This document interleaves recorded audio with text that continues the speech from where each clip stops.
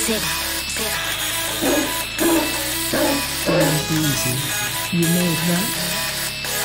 It's fresh 808 gang. Yeah.